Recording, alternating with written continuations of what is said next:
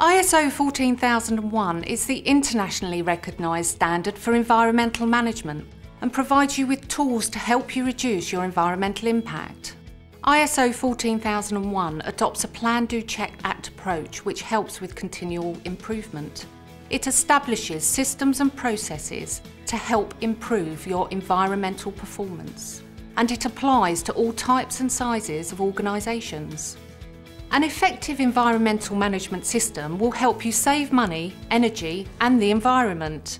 It will also help with you achieving and complying with legal and industry legislation. ISO 14001 has been developed using the new high-level structure. This gives greater consistency to all management standards that are being issued by ISO.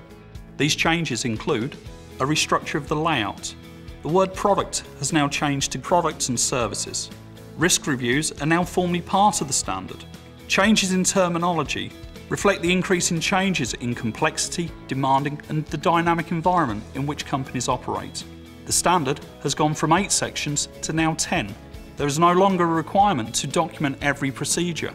A greater level of strategic direction alignment than ever before aim to be used as an integral component of organisation sustainability development objectives, using simplified and current terminology to aid the understanding of those adopters.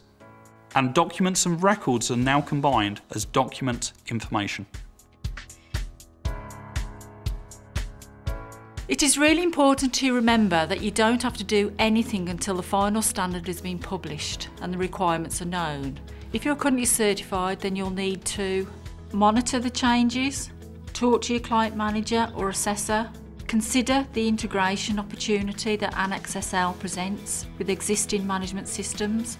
PAS 99 provides the ideal framework to help organisations integrate their systems. Start to make senior management aware of the changes that are coming and a transition plan will need to be developed and resources required. Consider purchasing the draft when it becomes available. If you are developing a system, continue working towards certification against the current ISO 14001. BSI will issue certificates against this version until a new standard is published. The ISO 14001 International Committee are still working on the new standard. Key timings are likely to be the draft international standard, known as the DIS, is expected to be published for ballot around September 2014 but these timings may move. The final draft international standard, known as the FDIS, is expected to be published for ballot early 2015, and the international standard is expected to be published in late summer 2015. We suggest you keep up to date with the latest timings on our website at bsigroup.com. Although the transition period has not yet been agreed, it is likely to be a two or three year period for existing ISO 14001 clients. The ISO committee publishes drafts of the new standard at different stages along its revision journey.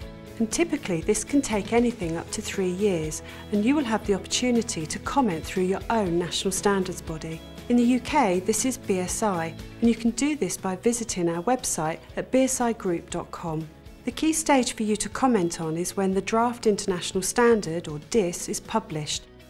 And at this stage, you will be able to comment on each clause. The UK committee will then review all comments before feeding these back to the main ISO committee.